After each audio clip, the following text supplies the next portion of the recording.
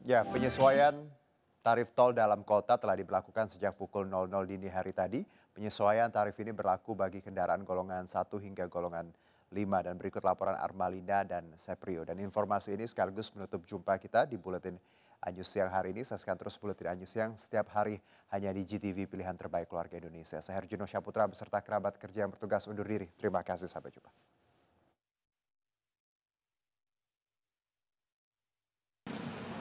Pemirsa penyesuaian tarif tol dalam kota yang mencakup ruas Cawang Tomang Fluid dan Cawang Tanjung Priuk Ancol Timur Jembatan 3 sudah mulai diberlakukan per hari ini yaitu tanggal 31 Januari 2020. Dan untuk sosialisasi penyesuaian tarif ini juga sudah dilakukan dengan dipasangkan di papan pemberitahuan sebelum pintu masuk tol seperti di sebelum gerbang tol Cawang Jakarta Timur ini.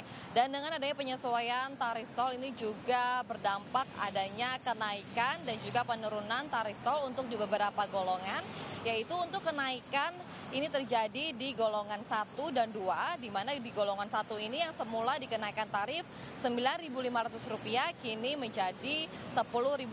Lalu untuk di golongan 2 ini terjadi kenaikan yang cukup signifikan yang semula dikenakan tarif Rp11.500 kini menjadi Rp15.000.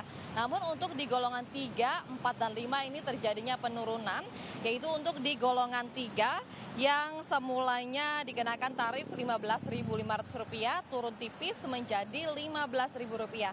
Lalu untuk di golongan 4 dan 5 yang semulanya di golongan 4 dikenakan tarif Rp19.000 dan di golongan 5 dengan Rp23.000, kini keduanya untuk di golongan 4 dan 5 turun menjadi eh, Rp17.000 dan penyesuaian tarif ruas tol ini yang dilakukan pemerintah dengan alasan penyesuaian inflasi di mana pengaruh laju inflasi ini akan mengubah tarif jalan tol selama dua tahun sekali seperti yang diatur dalam Undang-Undang Nomor 38 Tahun 2004 dan Peraturan Pemerintah Nomor 15 dengan perubahan pada PP Nomor 30 Tahun 2017. Dan kami juga tadi sempat bertanya dengan pengendara golongan satu terkait adanya kenaikan tarif tol dengan adanya penyesuaian tarif tol per tanggal 30